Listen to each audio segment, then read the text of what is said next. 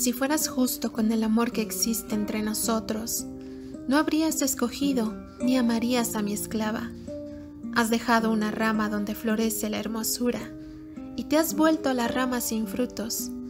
Sabes que soy la luna llena, pero por mi desdicha de Júpiter estás enamorado.